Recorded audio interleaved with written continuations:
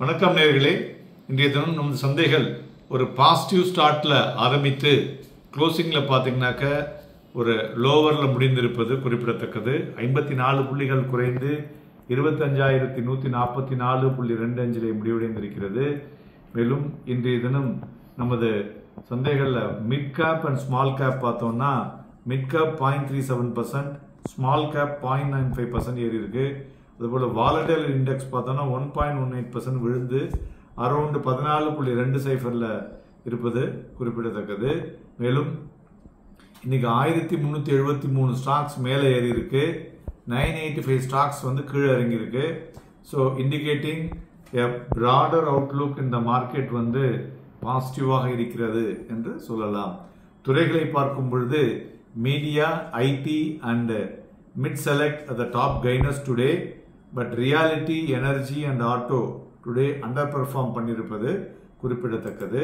மேலும் இன்றைய தினம் வந்து பார்த்தோம் என்எஸ்சியில் வந்து volume cash market volume four point two percent higher than the previous day so the broader indices வந்து ரிமைன் பாசிட்டிவாக இருக்கிறதும் நம்ம வந்து மனதில் கொள்ள வேண்டும்.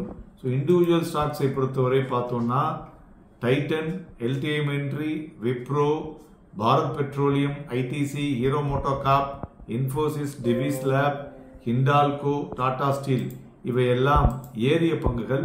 இறங்கின பங்குகளில் ஃபார்மால Cipla then Reliance. One man army தான் இன்னைக்கு மெயின் ரீசன் மார்க்கெட் இவ்வளோ விழுந்ததுக்கு doctor Reddy's Laboratories Coal India Britannia Nestle Tata Motors Bajaj Auto M and M ONGC இவையெல்லாம் இறங்கிய பங்குகள். குளோபல் மார்க்கெட்டை பொறுத்தவரை பார்த்தோம்னா இன்னைக்கு வந்து ஒரு மிக்ஸ்டாக இருக்குன்னு சொல்லலாம். பட் நேற்று தினம் குளோபல் செல் ஆஃப் இருந்தது.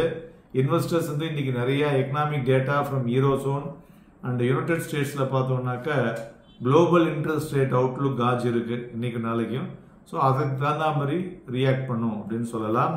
மேலும் தங்கம் பார்த்தோன்னா நானூற்றி எழுபத்தோரு ரூபாய் அதிகரித்து எழுபத்தோராயிரத்தி தொள்ளாயிரத்தி முப்பத்தேழுலையும் வெள்ளி ஆயிரத்தி இரநூத்தி ஐம்பத்தி மூன்று ரூபாய் அதிகரித்து எண்பத்தி ரெண்டாயிரத்தி ஐநூற்றி ஐம்பதுலேயும் ஐநூற்றி தொண்ணூறுலேயும் குரூட் ஆயில் அஞ்சு ரூபாய் அதிகரித்து ஐயாயிரத்தி இருநூத்தி ஐம்பத்தி அலுமினியமாய் கொண்டிருக்கிறது.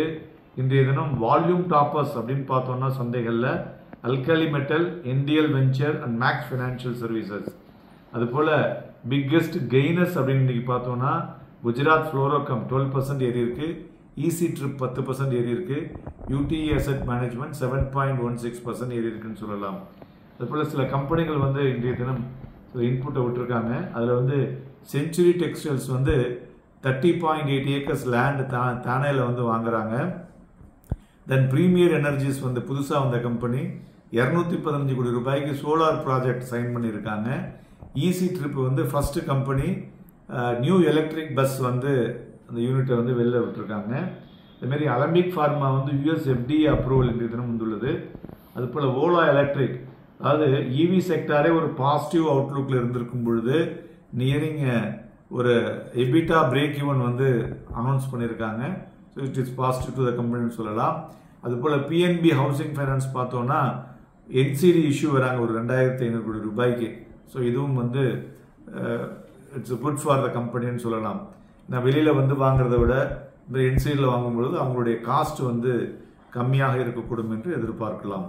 அடுத்தது பிளாக் டீலை பொறுத்தவரை பார்த்தோன்னா NTPC Kirloskar oil engine Bharti Airtel and KPIT இதெல்லாம் பிளாக் டீல் நடந்துள்ளது அப்படின்னு சொல்லலாம். நிஃப்டி இன்றைய தினம் வால்யூம் பார்த்தோன்னா பிலோ ஆவரேஜ் மேலும் கேஷ் மார்க்கெட் இன்றைய தினம் பார்த்தோன்னா காலையில் வந்து ஒரு சூப்பர் ஹை போச்சு. Twenty five two ஃபிஃப்டிலேருந்து twenty five two seventy five point four five போச்சு.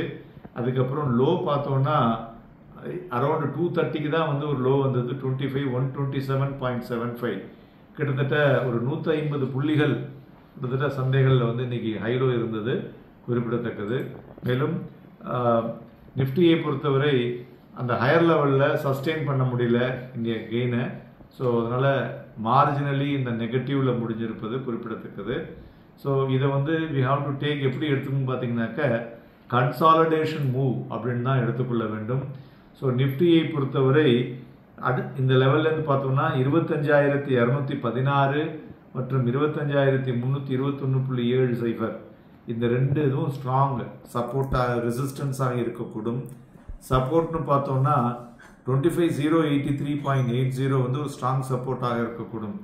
ஸோ இந்த நியர் டேர்ம் பிராம் பேண்டை பார்த்தோன்னா twenty five zero eighty three to twenty five three twenty one point seven ஜீரோவாக இருக்கக்கூடும். அதுபோல் பேங்க் நிஃப்டியும் பார்த்தோம்னா resistance level fifty one six naught three and fifty one nine seventy seven அந்த ப்ராடர் மார்க்கெட்டை பொறுத்தவரை இந்த நியூ ஏஜ் ஸ்டாக்ஸ்லாம் இருக்குல்ல அதுமாரி நியூ லிஸ்டட் ஸ்டாக்ஸ்லாம் வந்து ஒரு ட்ரேடர் ஃபேவரேட்டாக இருக்குது அதனால் அதெல்லாம் வாங்கி வைக்கலாம் நாளை தினமும் நம்ம சந்தைகளில் வந்து வாலட்டிலிட்டி மிகுந்து காணப்படும் because of global news happy trading and happy investments